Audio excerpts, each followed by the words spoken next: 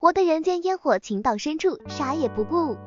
在我的人间烟火剧中，杨洋面对王楚然的霸气表白，非常感动。他紧紧抱着王楚然，甜蜜亲吻，忘乎所以，丝毫没有顾及到旁边提着甜甜圈和口红的杨超越，这让杨超越很是无奈，忍不住凑上来刷存在感，却被杨洋嫌弃的一把推开。杨超越站在杨洋、王楚然旁边。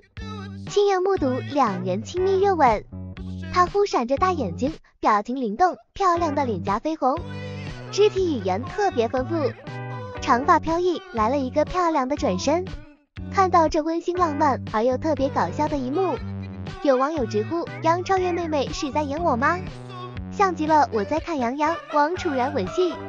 杨超越妹妹在现场看杨洋、王楚然吻戏，四舍五入相当于我也在现场了。我的人间烟火持续热播，收视创新高，卫视市占率排第一，人气不断飙升，热议不断，话题讨论量也是非常热烈。看得出来，杨洋、王楚然、王彦霖赢麻了，魏大勋、张彬彬、杨超越也赢麻了，果然是精彩不断。孟宴臣请叶子吃饭，恰在此时，许沁给孟宴臣发信息，许沁让孟宴臣来医院取药。然后拿起傅文英和孟华景之，孟宴臣顾不上吃饭，转身就走，这让叶子很失落。许沁上班遇到同事问他怎么不开车了，许沁避而不谈，毕竟没有勇气抛下孟家的光环吧。在医院能有的待遇，都是因为孟家的背景。孟宴臣知道许沁最近坐地铁上班，心疼许沁要走这么远的路才能到地铁站。但许沁一点也不觉得苦，已经在学习骑自行车。孟宴臣希望许沁能够告诉自己他的困难。看着许沁奔跑回医院的身影，孟宴臣心里很有触动。孟宴臣叫许沁是孟青了哀。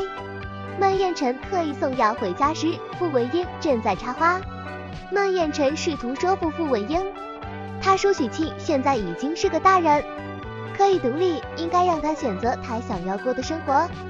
孟宴臣的话惹怒傅文英，他觉得孟宴臣说的是许沁，其实是自己。傅文英不顾许沁的意愿，特意找了个门当户对的董家人来接自己和许沁。没想到的是，正好遇上宋燕和狄淼。狄淼自打知道宋燕和许沁在一起，就一直称呼许沁为嫂子。前来接人的董家小伙子听到这句嫂子，不由愣了一下。傅文英赶紧解释。他说是家里不同意，让他们分了。没想到许沁这回直接当着大家的面宣誓主权，表达他对宋殿的爱，这让傅文英下不来台，气得面色发青，坐上车后扬长而去。宋燕和许沁已经一周没见，得知许沁回家，以为这周见不上，没想着在这里遇上，不由高兴极了。再想想许沁刚才的告白。宋燕紧紧抱着许沁，感动得不得了。宋燕紧紧抱着许沁，甜蜜亲吻，丝毫没有顾忌到旁边提着甜甜圈和口红的迪淼，这让迪淼很是无奈，忍不住凑上来刷存在感，却被宋燕嫌弃的一把推开。没想到我的人间烟火还有这种桥段，伤心反复刷了好几次，发现杨超越演技有很大提升。